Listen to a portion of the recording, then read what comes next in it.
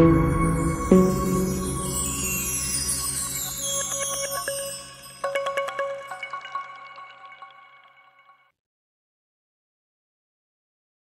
में क्या बोला है? देखिए क्वेश्चन में जो है, बताया गया है consider the following fact regarding the control of shoot apical meristem SAM in the Arabidopsis ठीक है? और, यहाँ पे कुछ एक ऑब्जर्वेशन रखा गया कैसा ऑब्जर्वेशन कि क्लेवाटा वन का म्यूटेशन हो जाए, सैम बड़ा हो जाता है, क्लेवाटा थ्री का म्यूटेशन हो जाए, सैम बड़ा हो जाता है वुशल का म्यूटेशन हो जाए, सैम छोटा हो गया, क्लेवाटा वन और वुशल का लॉस ऑफ़ फ़ंक्शन हो जाए, सैम छोटा हो गया। Loss of function CLAVATA three और वुशल का हो जाए, अगेन सैम छोटा हो गया। क्लेवाटा वन और क्लेवाटा थ्री का म्यूटेशन हो जाए, सैम बड़ा हो गया। क्लेवाटा थ्री का ओवर एक्सप्रेशन हो जाए, छोटा सैम हो गया। Over expression of CLAVATA three जो है in the loss of function mutation of CLAVATA one lead to the bigger SAM. ये सारे ऑब्जर्वेशन दिए हैं ठीक है? आपको क्या करना है? Based on the above information, which one of the following genetic pathway describe the relationship among the CLV1, CLV3 and WUSHL most appropriately? आपको बताना यहाँ पे कौन सा पाथवे सबसे बेस्ट तरीके से C L V one C L V three and वुशल का रिलेशन बताता है। अब क्योंकि हम ये चैप्टर पढ़ चुके हैं तो हमको पता है इन तीनों के बीच का रिलेशन लेकिन जो बच्चे चैप्टर नहीं पढ़ते हैं इन केस जैसे मान लो कोई सेल्फ स्टडी कर रहा है, उसने टॉपिक स्किप कर दिया है तो फिर भी यहाँ पे इतनी इन्फॉर्मेशन है कि उससे ये रिलेशन निकाल सकते हैं। बट हम डायरेक्टली जाएँगे, क्योंकि हमने पढ़ा हुआ है, ठीक है? तो बोला गया है कि क्लेवाटा वन और क्लेवाटा थ्री दोनों वुशल को एक्टिवेट करेंगे। और एरो देखिए एक्टिवेशन का है, ऐसा तो नहीं होगा, गलत। नेक्स्ट देखिए क्लेवाटा वन और क्लेवाटा थ्री अलग अलग वुशल को इनहिबिट करेंगे। भाई क्लेवाटा वन बिना क्लेवाटा थ्री के कैसे काम कर सकता है? रिसेप्टर बिना लिगेंड के एक्टिवेट हो जाएगा। तो क्लेवाटा वन अकेले क्यों वुशल को इनहिबिट कर रहा है? अकेले तो नहीं करना चाहिए। रिसेप्टर अकेले कैसे एक्टिवेट होगा बिना लिगेंड के? और लिगेंड भी अकेले काम कर रहा है बिना बिना रिसेप्टर के? ये भी गलत। नेक्स्ट क्लेवाटा थ्री ये जो है क्लेवाटा वन को एक्टिवेट करेगा कैसे? बाय बाइंडिंग ओके ग्रेट फिर CLAVATA three CLAVATA one bind कर गए हैं then now they are going to inhibit the वुशल एकदम सही। And then वुशल inhibition can lead to the regulation in the same size एकदम सही। राइट? तो हमारा थर्ड ऑप्शन सही हो जाता है। Next CLAVATA one, CLAVATA three को इनहिबिट करेगा, एकदम घनघोर गलत स्टेटमेंट तो we can go with the third statement ठीक है? यस तो लिगेंड और रिसेप्टर अलग अलग नहीं काम कर सकते हैं। ये एक ऐसा कॉम्बिनेशन होता है जिनका साथ में काम करना ज़रूरी होता है, तभी हमको फ्रूटफुल रिज़ल्ट मिलता है। ठीक है? देखिए, हमने डायग्राम में भी तो वही कहा था। कि सीएलवी थ्री क्या करेगा? सीएलवी वन ऑब्लिक टू इनसे इंटरेक्ट करने के बाद वुशल को इनहिबिट कर रहा, अकेले अकेले नहीं कर रहा है राइट तो हमने डायग्राम में भी वही पढ़ा था। चलो, अगला सवाल।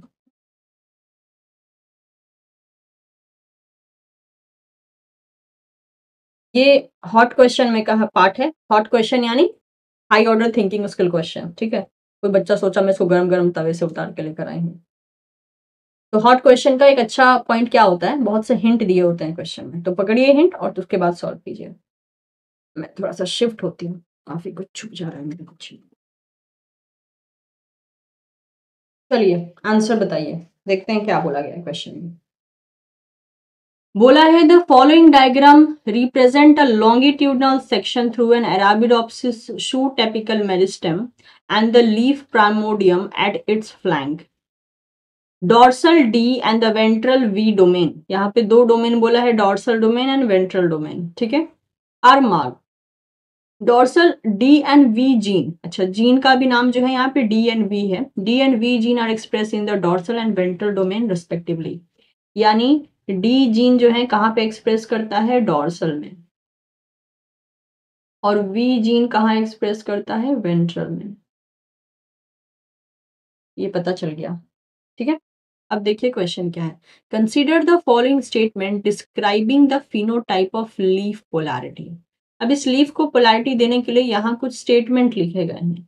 इस स्टेटमेंट के बेसिस पे आपको फंक्शनल मॉडल को सेलेक्ट करना है जो बेस्ट तरीके से रिज़ल्ट को बताएगा। अब इसके लिए हमको ये जो चार स्टेटमेंट दिया है ना, इसको बहुत अच्छे से इसका जो है पोस्टमार्टम करना है।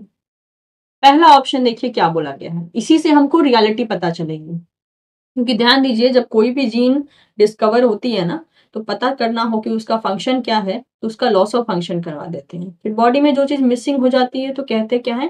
कहते हैं कि भाई, इसकी वजह से जो है, ये फ़ंक्शन था और इसको हटा देने की वजह से ये फ़ंक्शन लॉस हो गया। मतलब इस जीन का ये फ़ंक्शन होता है, ऐसे करके, ठीक है? तो देखिए क्या बोला है। लॉस ऑफ़ डी फ़ंक्शन यानी अगर लॉस ऑफ़ फ़ंक्शन हो जाए किसमें? डी जीन में। तो क्या होता है? Function make the leaf ventralized उस केस में क्या हो जाता है? लीफ वेंट्रलाइज्ड हो जाता है। ऐसा केस देखा गया। Whereas over expression dorsalizes the leaf और अगर आप ओवर एक्सप्रेशन कर देते हो डी जीन का, तब क्या होता है? तब लीफ जो है वो डॉर्सलाइज्ड हो जाता है। इससे ये चीज़ कंफर्म हो गई, ये ए स्टेटमेंट का रिज़ल्ट है। इससे ये चीज़ कंफर्म हो गई कि डी जीन डॉर्सल में एक्सप्रेस करती है और डॉर लीफ को डॉर्सलाइज करने का काम करती है। इसीलिए जब वो जीन नहीं है तो लीफ वेंट्रलाइज हो जा रहा है। ये कंक्लूजन निकला हमारे सामने। अब देखते हैं बी स्टेटमेंट का क्या कहना है। बी का कहना है कि अगर लॉस ऑफ़ फ़ंक्शन हो जाए वी का तो इससे लीफ डॉर्सलाइज हो जाता है। यानी loss of function in V gene that will make leaf dorsalize leaf जो है वो डॉर्सलाइज हो जा रही है। अगर वी का लॉस ऑफ़ फ़ंक्शन हो रहा है तो। और इसका ओवर एक्सप्रेशन जो है लीफ को वेंटलाइज कर दे रहा है। यानी over expression of V gene this is ventralizing the leaf इससे ये पता चल गया। यानी ये चीज़ जो है ये क्या हो गई? ये कंफर्म हो गई कि डी जीन डॉर्सल एक्सेस ही बनाती है और वी जीन वेंट्रल ही बनाती है। अगर डी जिन में म्यूटेशन हो गया तो वेंट्रल बन जाएगा वी जिन में म्यूटेशन हो गया तो डॉर्सल बन जाएगा, ठीक है? अब देखिए इस थर्ड स्टेटमेंट का क्या कहना है। थर्ड को यहाँ ले लेते हैं। थर्ड में बोला गया है loss of micro R N M I R one six six यानी अगर लॉस ऑफ़ फ़ंक्शन हो जाए किसका? M I R one six six it will dorsalizes the leaf तो अगर ऐसा होता है तो लीफ क्या हो जाती है? डॉर्सलाइज हो जाती है। लेकिन अगर इसका ओवर एक्सप्रेशन हो जाए if there is a over expression of M I R one six six तो तब क्या हो रहा है? It will ventralize the leaf मुझे फटाफट से बताइए ये M I R one six six किसकी तरह काम कर रहा है? किसकी तरह बिल्कुल रिज़ल्ट शो कर रहा है? ओके okay, नेक्स्ट क्या है? M I R one six six function by inhibiting इस target M R N A और M I R one function कैसे करता है? M I R one six six ये कैसे फ़ंक्शन करता है? It function by inhibiting the target M R N A target M R N A को रोक के ये फ़ंक्शन करता है।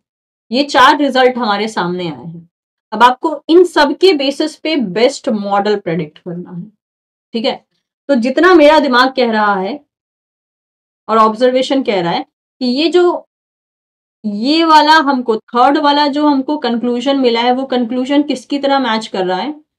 लॉस ऑफ़ फ़ंक्शन हो जाए तो डॉर्सलाइज हो जाता है ओवर एक्सप्रेशन हो तो वेंटलाइज हो जाए it is just acting like a V gene right yes V gene की तरह काम कर रहा है।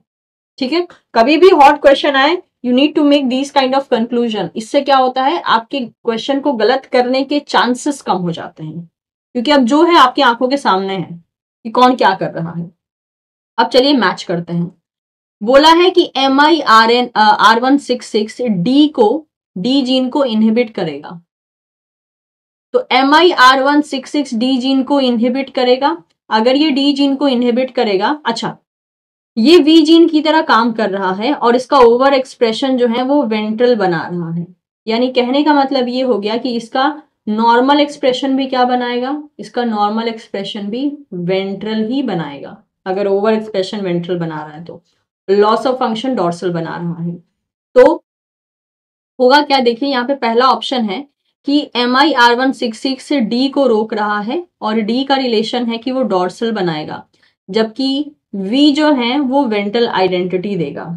तो अगर मैं इस ऑप्शन को देखती हूँ तो ये ऑप्शन जो है, ये M I R one six six जो है, इसको सम हाउ कुछ ऐसे काम करना चाहिए कि ये वी के साथ भी रिलेशन रखे राइट तो ये इसके यहाँ पे रिलेशन शो नहीं कर रहा है तो we can exclude this option second देखिए यहाँ पे M I R one six six dorsal को इंड्यूस कर रहा है।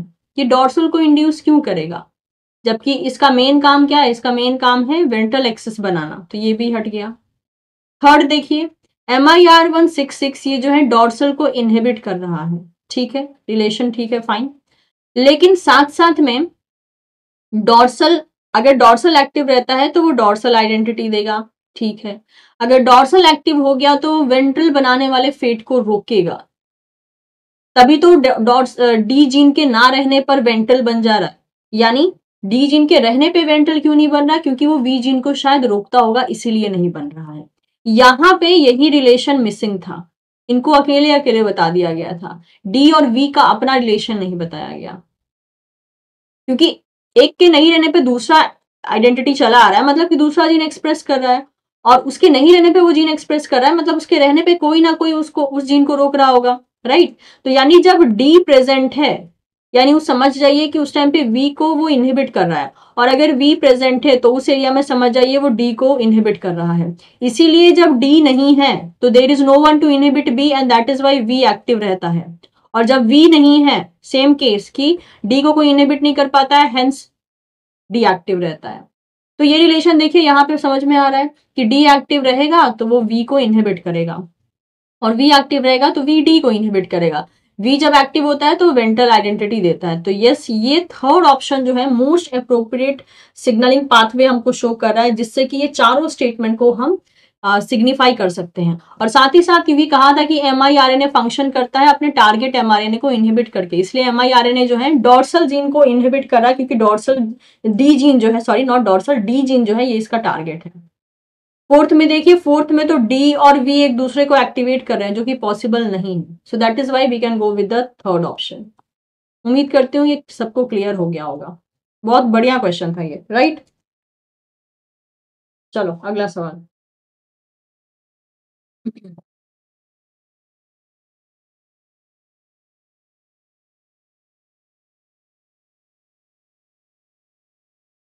जो बच्चे ओवर स्मार्टेस्ट दिखा रहे हैं ना, ये Anshu, Himani, Anamika.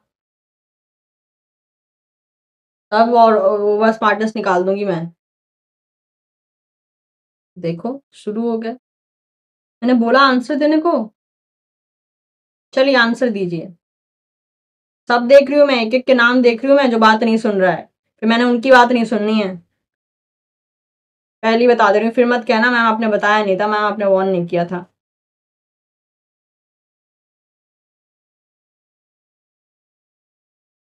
Okay which one of the following statement is wrong कौन सा स्टेटमेंट गलत बोला गया है यहाँ पे? ठीक है? तो सीधी सी बात है, यहाँ चार स्टेटमेंट है मतलब तीन सही है और एक गलत है। पहला the megasporocyte develop within the megasporangium of the ovule बिल्कुल सत्य वचन बोला गया है। Next megasporocyte undergo meiosis to produce four haploid megaspore बिल्कुल मेगास्पोरोसाइट्स में जो है मियोसिस होता है, तब जाकर हमको फाइनल रिज़ल्ट चार हेप्लॉइड मेगास्पोर मिलते हैं। नेक्स्ट और all four megaspore undergo several mitotic division चारों के चारों मेगास्पोर में माइटोटिक डिवीज़न होता है? नहीं। एक ही में होता है, वो भी जो सबसे लार्जर होता है स्पेशली जो चालीसर एंड की तरफ़ रहता है। और बाकी तीन क्या हो जाते हैं? डी जनरेट हो जाते हैं। तो ये क्या बोला है? घनघोर पाप वाला स्टेटमेंट बोल दिया इन्होंने। Next female gametophyte is haploid बिल्कुल भाई। फीमेल गैमिटोफाइट हेप्लॉइड ही तो होगा। गैमेट्स तो हेप्लॉइड ही होते हैं राइट तो ये भी सही हो गया। तो गलत ऑप्शन कौन सा हो गया? थर्ड वाला हो गया। अगला सवाल।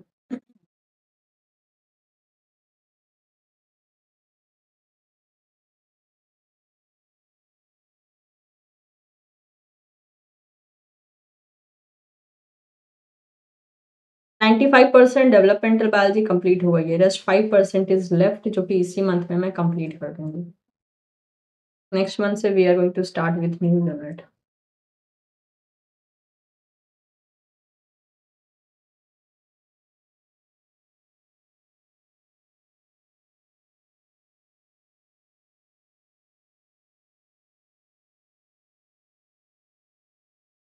Kajal ji, ये एक प्लस पॉइंट एक्चुअल में मैं भी एग्री करती हूँ कि मेरी क्लास में मैक्सिमम बच्चे 80 परसेंट कंसेप्ट को क्लास में ही लर्न कर लेते हैं, ठीक है?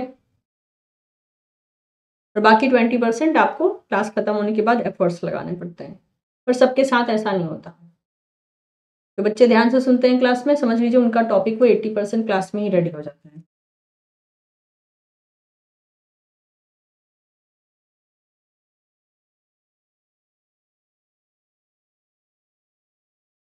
इब्रत प्लेटफॉर्म की तरफ़ से भी बहुत से क्वेश्चंस आपको एट द एंड प्रोवाइड किए जाएँगे। अभी तो लर्निंग फ़ेज़ चल रहा है तो?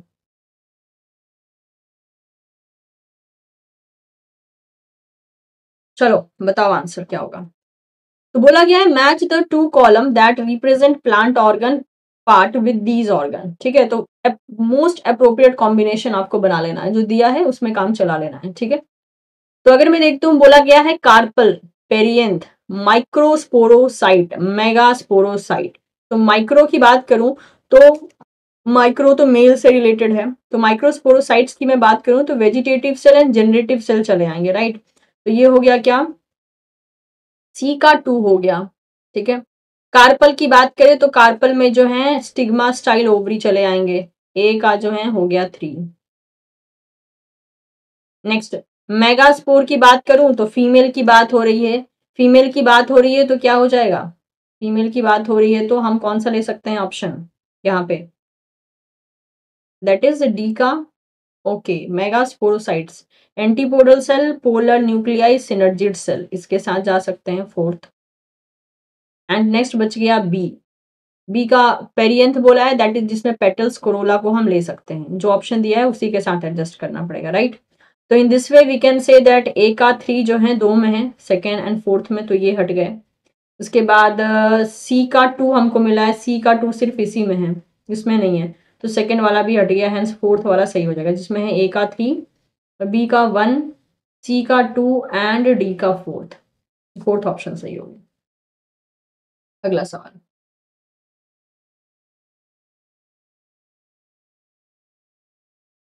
रिया जी पेरियंथ पढ़ते ही उनका सॉल्व होगा जो बॉटनी वाले हैं। है ना? नॉन बॉटनी वाले को तो सब कुछ पढ़ना पड़ेगा तो। तो उनके लिए अदर ऑप्शंस भी हैं सही ऑप्शन पे पहुँचने के लिए।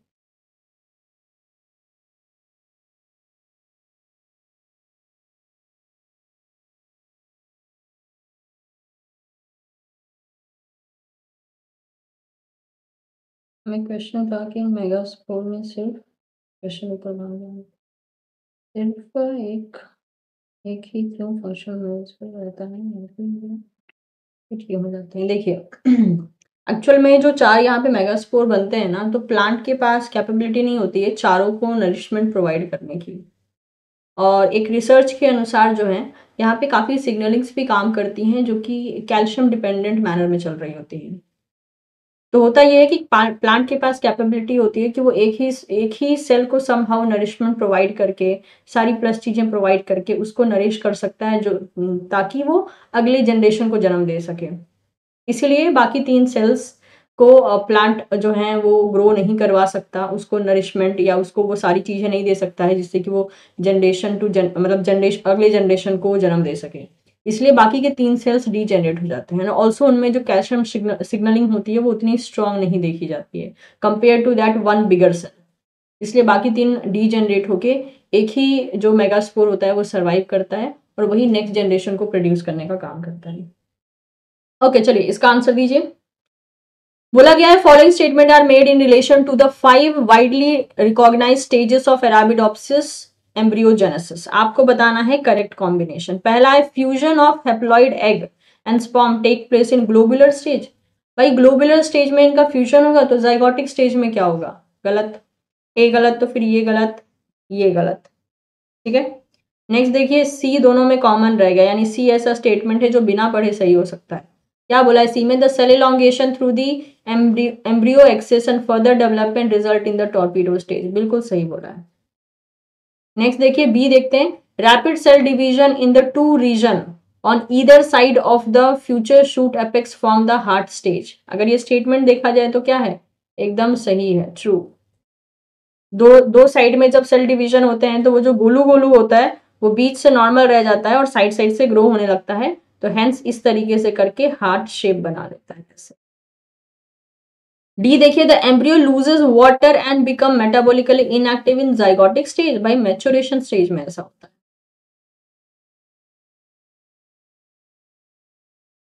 तो हो गया बी एंड सी सही दैट इज़ सेकेंड ऑप्शन अगला सवाल।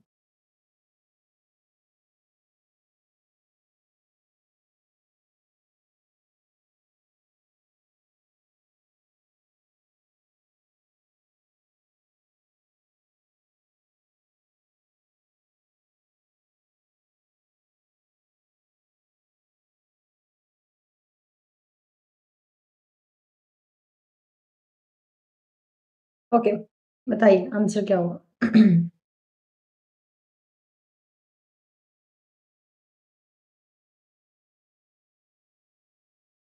बोला गया है क्वेश्चन में during which one of the following stages of Arabidopsis embryogenesis cell elongation throughout the embryonic axis and further development of cotyledon occur? Globular stage में होता है? नहीं. टॉर्पीडो स्टेज में ऐसा हो सकता है. हार्ट स्टेज में नहीं होता है, मैच्योरेशन स्टेज में नहीं that is in the torpedo stage होता है। चलो, अगला सवाल।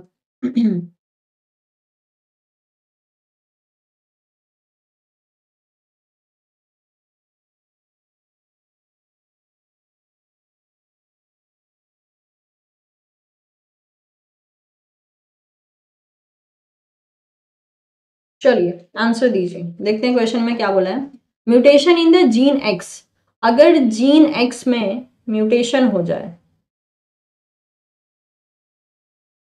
ठीक है? Result in more number of lateral root formation इसमें अगर म्यूटेशन हो जाता है तो जो लेटरल रूट का फॉर्मेशन होता है लेटरल रूट फॉर्मेशन वो क्या हो जाता है? वो हाई हो जाता है। ठीक है? Which one of the following is a correct statement इसके रिगार्डिंग आपको करेक्ट स्टेटमेंट पिक करना है। तो क्या बोला है?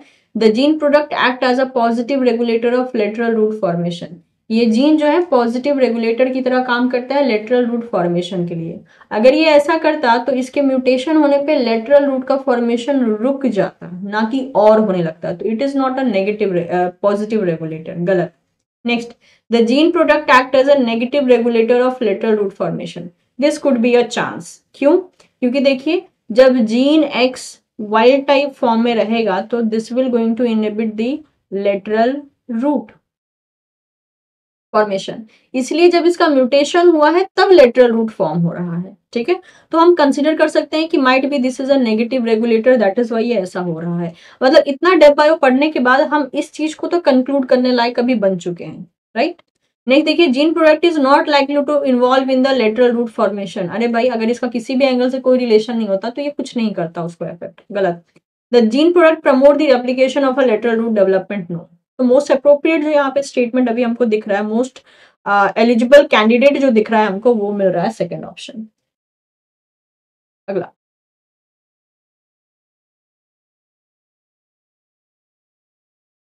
इतने इजी क्वेश्चन अब भी आते हैं. वो बात अलग है कि नदी के उस तरफ़ की घास जो होती है वो अक्सर हरी नज़र आती है।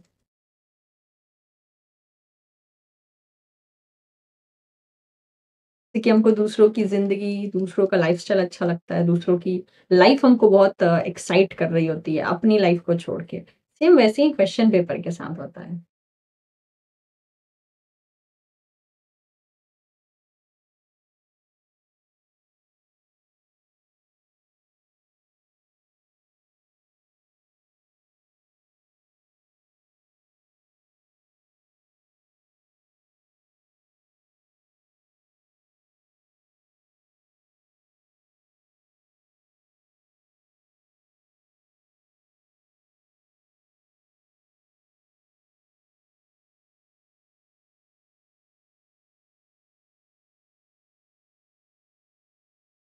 चलिए that's great Bhavya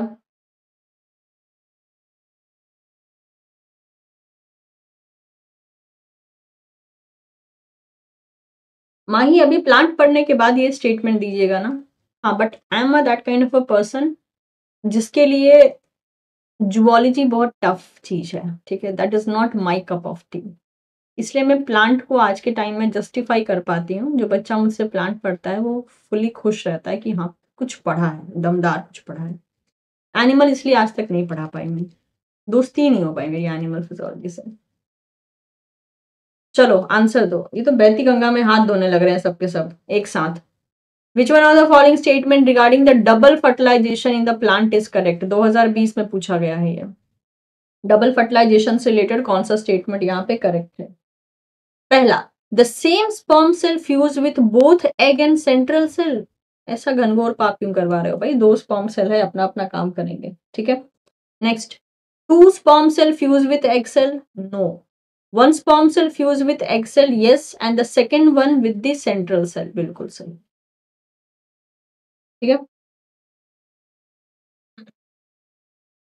Next two sperm cell fuse with the central cell ना बेटा थर्ड ऑप्शन ये भी 2020 में पूछा गया। I think this was in the other shift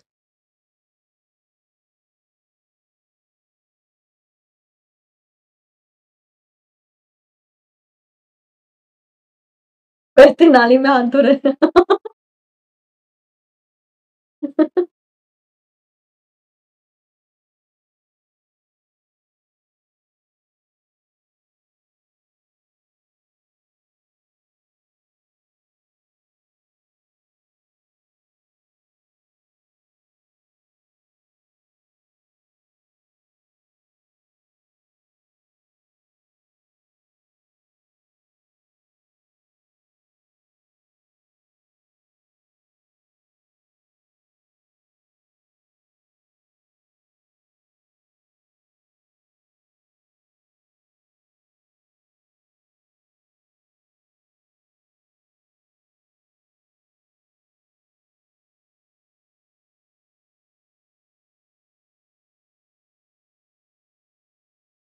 Ganga नहीं बहेगी इधर। शुक्र कीजिए, हमारे बीच में कोई स्टूडेंट ऐसा नहीं है जिसका नाम गंगा है। वरना वो बोलता बात बात में मुझे क्यों बहा देते हो?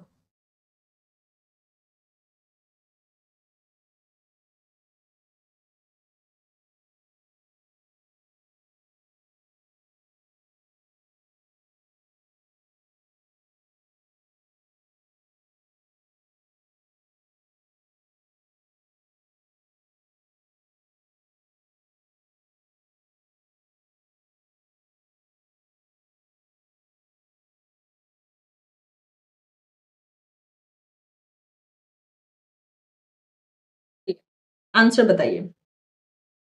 बोला गया है the development of anther and the male gametophyte is highly conserve among the angiosperm following are some of the event associated with the pollen development in a random order यहाँ पे कुछ सीक्वेंस दिए गए हैं, लेकिन एक तरीके से जो है अनऑर्गेनाइज है। आपको उसे ऑर्गेनाइज करना है और आपको सही सीरीज़ में इसको रखना है।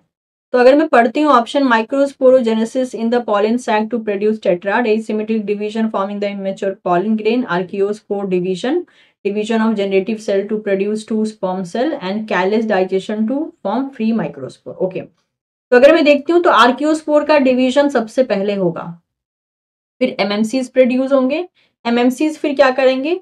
एमएमसी जो है एक तरीके से हम्म, के बाद हमारा ऑप्शन हो सकता है that is microsporogenesis in the pollen sac to produce tetrad second sequence ये हो सकता है ठीक है? कि टेट्राड बना है। उसके बाद जो है टेट्राड को हम क्या कर सकते हैं? टेट्राड को हम कैलेज uh, से डाइजेस्ट कर सकते हैं ताकि माइक्रोस्पोर बाहर निकले। ओके ये थर्ड को ले सकते हैं हम। माइक्रोस्पोर बाहर निकल गया तो उसके बाद जो है division of generative cell to move two sperm cell नहीं एसिमेटिक डिवीज़न हो सकता है, उसके बाद ये हो सकता है right asymmetric division of pollen grain जिसमें कि vegetative cell and generative cell produce होगा। और जेनेटिव सेल का सबसे लास्ट में डिवीज़न होता है दो स्पॉम सेल में, जब वो पॉलिन ट्यूब के अंदर आ जाता है दैट इज़ फिफ्थ स्टेप ये होगा। तो जो यहाँ पे दिया गया है ना, उसी को आपको ऑर्गेनाइज करना है। और इसमें से बीच बीच में से स्टेप इन्होंने गायब किए हैं, लेकिन फिर भी हमें सीक्वेंस को ब्रेक नहीं करना है राइट तो अगर मैं देखती हूँ तो मुझे मिल रहा है सी उसके बाद मिल रहा है A E B, D. Match कर लीजिए, किसी से मैच हो रहा है? सी, ये दो में। C, A, E, B, D. Second वाला मैच हो गया। ठीक है? यस।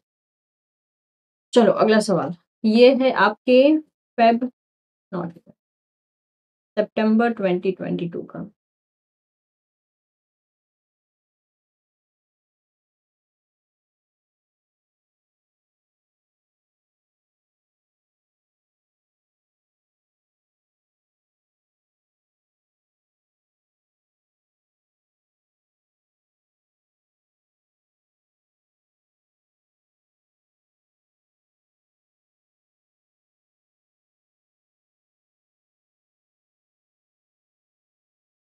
जरा इन सबके हिंदी पढ़ के देखिए। ग्लोबुलर स्टेज को बोला जाता है गोलाकार अवस्था जाइगोटिक स्टेज को बोला जाता है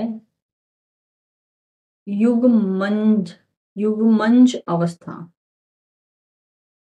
टॉर्पीडो को तो टॉर्पीडो ही कहा जा रहा है। भाई साहब, क्या ही हिंदी में कितना टफ हो जाता है साइंस और। मेच्योरेशन स्टेज को बोला गया है परिपक्व अवस्था। चलो अच्छा है हम लोग इसको इंग्लिश में ही पढ़ रहे हैं।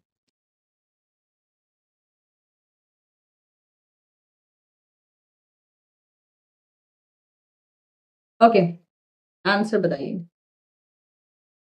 In which of the following stage of Arabidopsis embryogenesis do the visible distinction between the adaxial and abaxial tissue of cotyledon become initially apparent इसमें जो है, हमें एडेक्सियल एंड एबेक्सियल जो टिश्यू होता है कॉटिलिडन का, उसमें डिफरेंसेस देखने को मिल जाते हैं। जाइगोटिक स्टेज में तो नहीं होता है, ना ही ग्लोबुलर स्टेज में होता है। मेचोरेशन स्टेज में तो कुछ और ही हो रहा है। तो यहाँ ये किसमें होता है? टॉर्पीडो स्टेज में होता है। साइडवेज डिवीज़न जो है, वो हमको हार्ट स्टेज में देखने को मिल सकता है। उसके बाद जो सेल्स होते हैं, वो इलांगेट करते हैं टॉर्पीडो स्टेज बनाते हैं and then adaxial and abaxial tissue जो होते हैं कॉटलीडन के, वो एपरेंट बन जाते हैं। ठीक है? तो we can go with third option next सितंबर 2022 का क्वेश्चन ये क्वेश्चन बहुत ही बेसिक है। इलेवेंथ क्लास में हमको ये पढ़ाया गया है, ठीक है? इसलिए मैंने इसके बारे में कुछ बोला नहीं है, मैं देखती हूँ कितने बच्चे इसको सही कर पाते हैं।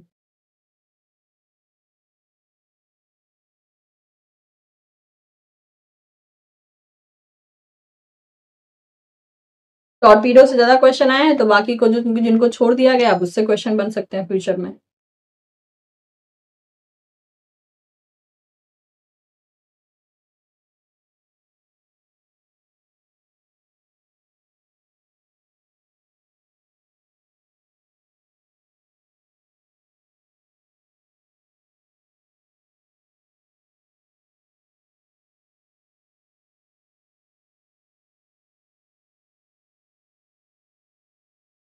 चलो आंसर बताओ।